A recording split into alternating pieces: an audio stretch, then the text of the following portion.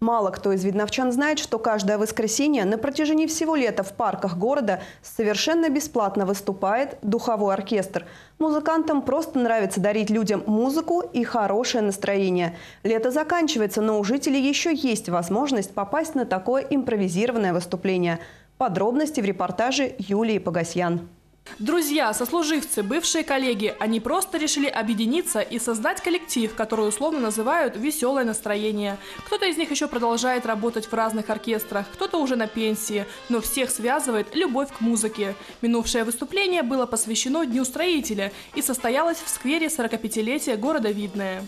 Когда приглашают нас э, поиграть где-то в парках, э, я с удовольствием звоню этим своим прекрасным музыкантам, и мы вместе вот так вот встречаемся, общаемся, ну и приносим людям радость.